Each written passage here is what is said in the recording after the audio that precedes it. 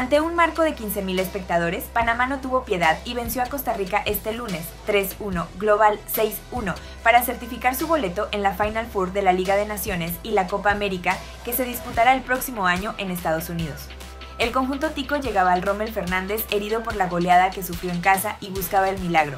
Sin embargo, se llevaron otra durísima derrota y ahora jugarán la repesca para intentar clasificar al certamen de la Conmebol. Apuesto que Costa Rica va a pasar esta serie. Por eso, ¿por qué no estamos diciendo que No, no, usted dice que es ligeramente favorito, ese favorito va a pasar. Como el compañero Alejandro y como el compañero Gustavo, creemos que como Panamá viene ganando los últimos partidos, tal vez tiene un leve favorito. Además, tiene un proceso. diciendo que somos por eso. Bueno, por eso, bueno, vamos a dar la cara aquí porque por lo visto no la quieren dar. No, no, podemos apostar, no sé. Porque si no digo que la se le gana 10 de 0. No, no, espérense, ¿quién va? No, yo creo que la Cele va a ganar aquí y en Panamá nos va- vamos a sacar un empate y yo creo que se clasifica la Cele. Es lo mismo, pero yo pienso. poder sacar un buen resultado. Repito, importante hoy, Cristian, también muy importante no recibir goles hoy. Creo que sería una, una, una cuestión importantísima. A mí no me importa, Cristian, si ganamos 1 a 0, pero que no nos anoten. Porque yo sé que Costa Rica tiene la capacidad que con un 1 a 0 en Panamá puede meter un gol y ya complica totalmente la serie.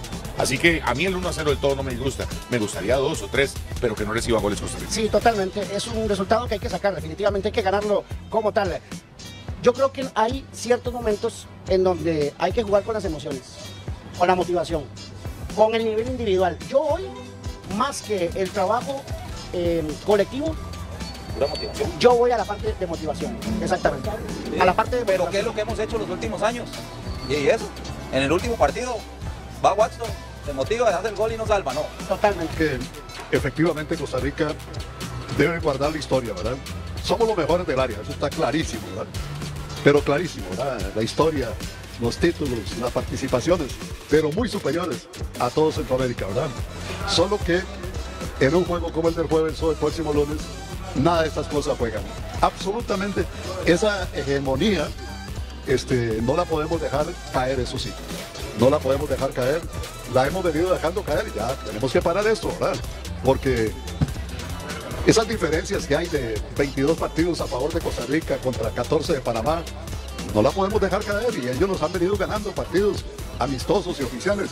Y ya es hora de que nuestros futbolistas y nuestra dirección técnica eh, efectivamente eh, hagan un alto a todo esto, ¿no? Lionel, vea, totalmente de acuerdo. Totalmente de acuerdo. Lo que dice Leo tiene mucha razón.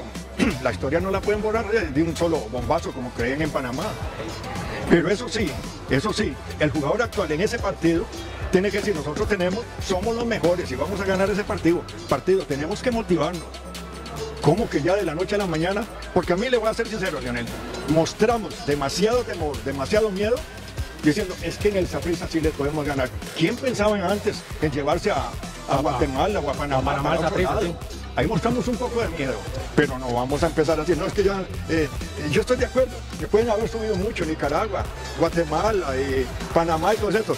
Yo sigo creyendo que nosotros somos los mejores en Centroamérica y tenemos que demostrarlo. Y los, de ahí no leo, es que hay que romper el hielo ya con los panameños. A los panameños hay que ganarles el, el jueves y sacarles un buen resultado en el, en el Ricardo Saprissa y, y ya y terminar esta racha para ver qué, qué pasa. Pero nosotros tenemos que, que ganarle a, a Panamá por lo menos ya, un poquito abultado, a ver cómo se le saca un buen marcador, ¿no, Leo?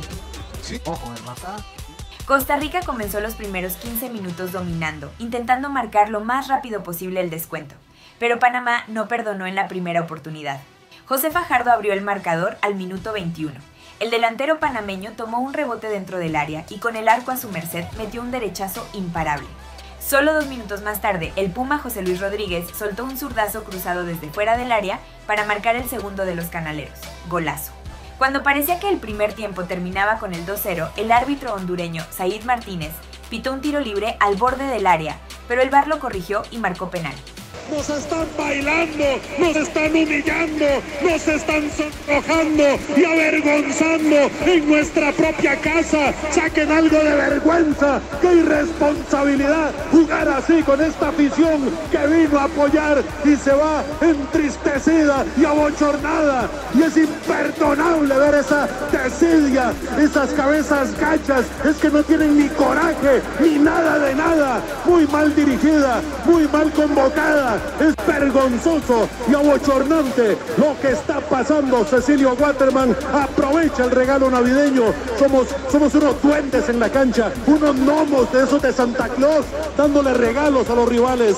¡Qué barbaridad! Vamos mejor con el comentario, Rey. Y dame cuatro Alcacelser de una vez, Roberto Torres. No, no me vaya tan mal como puedes pasar. Yo voy a contar, ustedes ya tienen una hora hablando aquí, yo voy a contar mi experiencia en estas últimas 24 horas en Panamá. Madre, la selección cayó tan bajo y es tan triste que yo esperaba hostilidad, que yo esperaba que algún panameño me mentara la madre, que algún... pa- Madre, nos tienen lástima, nos ven así, madre, nos ven como Belice. Ay, pobrecito, oye, te sacamos la chucha allá en Costa Rica, pobrecito, papi, ojalá disfrutes. tratamos bien, te tratamos bien, Oye, Costa Rica. Aquí te, te esperamos. Se fue para estamos nosotros, No jodas, al. Chile, mae. Yo dije, puta, mae, voy a tener que ir a darle la cara a Panamá.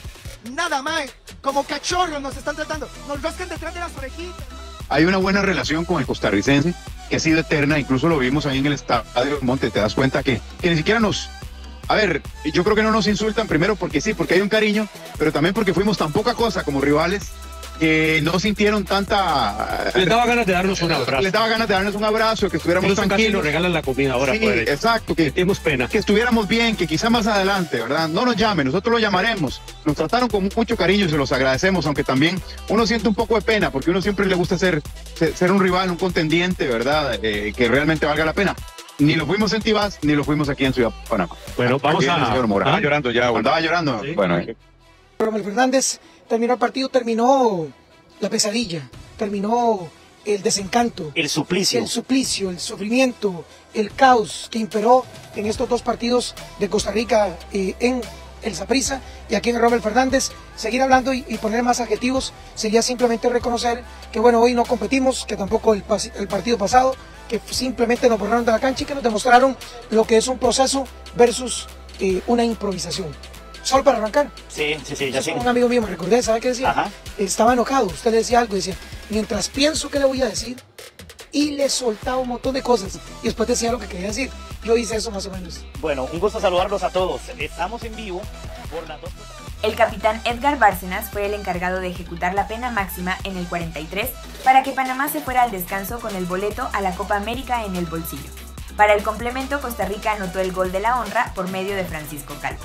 El defensor conectó de cabeza un centro de Campbell en el 51 y ponía un poco de suspenso a la eliminatoria. El equipo de Thomas Christiansen le bajó las revoluciones al partido mientras transcurrían los minutos hasta que Said pitó el final del encuentro. De esta manera, Panamá barrió en la serie a los ticos y junto con Estados Unidos son las primeras selecciones de CONCACAF en clasificar a la Copa América 2024. Hoy, martes, México, Honduras y Canadá-Jamaica definirán a los últimos clasificados.